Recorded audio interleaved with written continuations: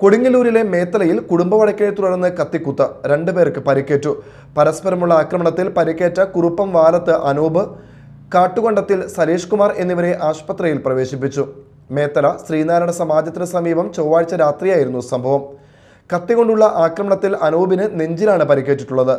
Screw ഡ്രൈവറും ഹെൽമറ്റും കൊണ്ടുള്ള ആക്രമണത്തിലാണ് സലീഷ് കുമാറിന് പരിക്കേറ്റത്.